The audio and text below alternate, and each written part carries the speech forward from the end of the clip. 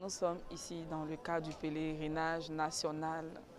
Nous sommes ici pour découvrir et marcher dans les pas de Sainte Bernadette. Nous euh, connaissons son histoire plus ou moins, mais nous n'avons jamais eu l'occasion, moi particulièrement, de, de, fouler les pas de, Lourdes. Et donc c'est pour moi euh, une opportunité de marcher dans les pas de Bernadette. Évidemment, le chant, c'est ma vie. Chanter pour, pour le Seigneur, c'est ce que j'aime le plus. J'adore rester dans la présence du Seigneur. Et j'ai que mes, mes cantiques pour, euh, pour m'exprimer. Je ne sais pas très très bien m'exprimer, mais j'ai les cantiques pour, pour exprimer ma joie envers le Seigneur, ma reconnaissance envers Dieu. Et c'est ce que je ne cesse de faire.